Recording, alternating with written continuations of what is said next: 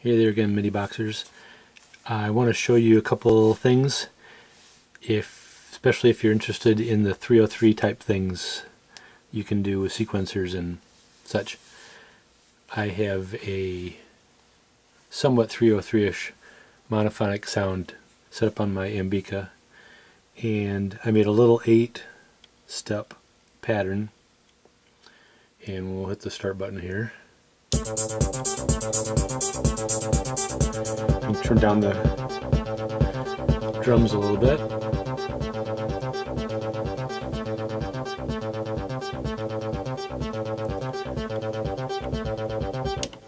So, got eight steps. Everything's the same. Um, look at the velocity. Whoops. Look at the velocities, they're all the same. The little bars next to the notes. And the durations are all the same.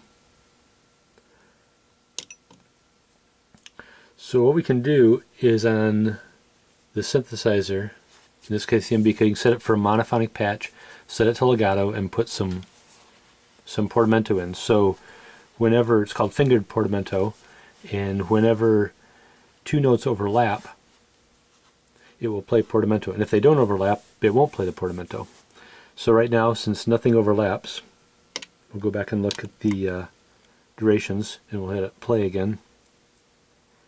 And note that I've got a big gap between the G1 there and the C2, and then the G3. So those three notes are a long ways away from each other, so they're good, good place to put a slide so you can really hear it. So go back to the lengths and hit play. I'm going to shorten a bunch of these up. And then take this one. And you hear the slide in there. Take it back out. Put one here. And on the synth, on the Ambika, I can turn the um, portamento down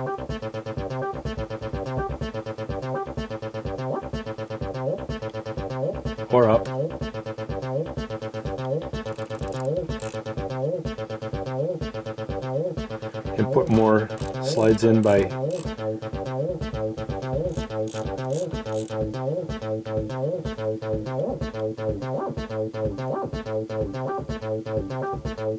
There's with no portamento. There's with a bunch.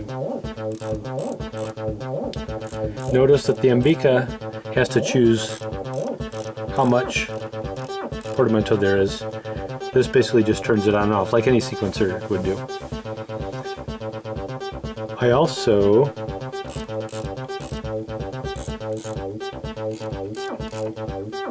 set up this patch so that if I change the velocity, which is all the same now, that will affect the uh, amount of filter envelope.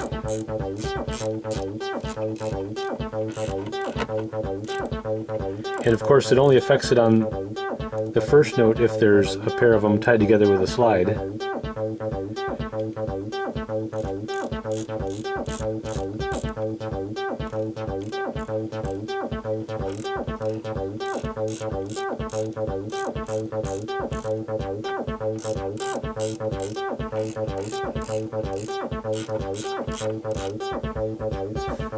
Can't really hear it that well. Let's turn the amount of that up. And, and close the filter up a little bit. There, now you can really hear the difference between the note that has the uh, velocity up and velocity not up. Now if you really want to do 303 sounds, there's an even better way, and that is holding down the edit button, and you get three choices. Step view, which you've been playing with, trigger and layer view, which I think we've looked at a little bit, but there's also 303 view, so if I hold down the edit, push 303 view, and I'm going to stop this for a second. So very similar to a 303, you can choose your step, whether there's a gate, whether there's an accent, whether there's a glide, which octave, and which note, and then the velocity and the length. Now you can see my lengths are already in glides there, but I'm going to turn those off. This is just a different way of viewing the same data that you see other places.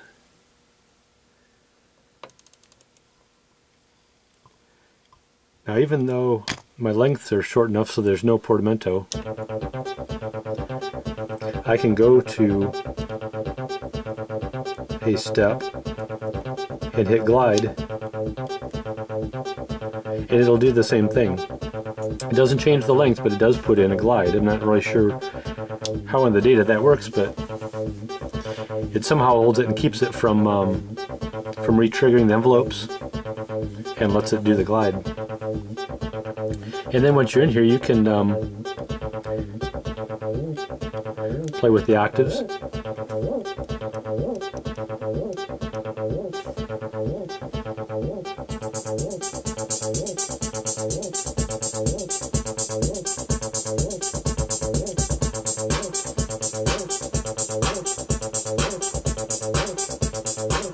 Top.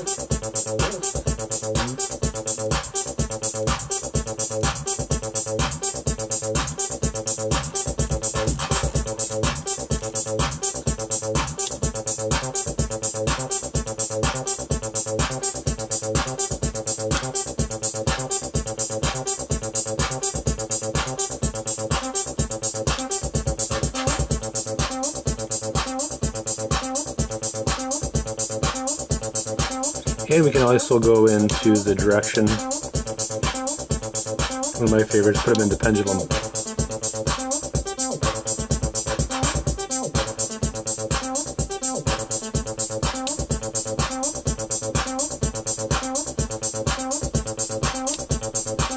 So anyway, that's another view you can use if you want to make these little 303 patterns.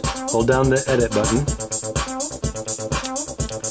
and that will give you three I mean your four views. You can push the one, go back to step view. There we go. Or one of the other ones to look at trigger view, layer view, or in this case 303 view. It is a pretty fun way to make patterns.